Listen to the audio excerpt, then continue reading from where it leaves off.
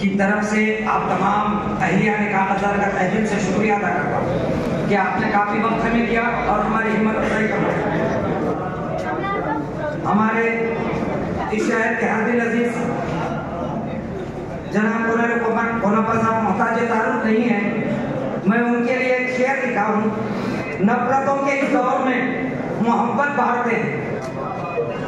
नफरतों के इस दौर में मोहब्बत बांटते हैं।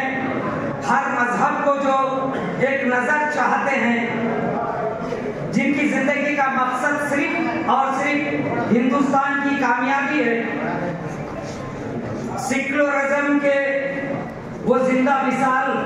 को हम जनाब कोनेर कोनापा साहब के नाम से जानते हैं मैं आपका तहे दिल से शुक्रिया अदा करता हूँ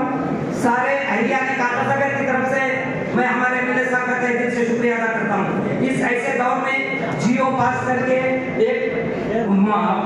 खाजी का पॉइंट जो है वो काफ़ी, मैं समझता हूँ, आप समझते हैं सो समझते हैं, लेकिन मैं तहे दिल से शुक्रिया अदा करता हूँ और आपकी सहजयाबी के लिए अल्लाह से दुआ करता हूँ कि अल्लाह ताला इनका साया हमारे सरों पर लाते रहे और ये हमारी इस कौम की नुमाइंदगी के लिए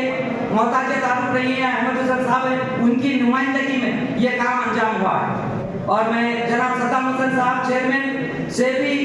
बहुत बहुत शुक्रिया अदा करता हूँ उनका उन्होंने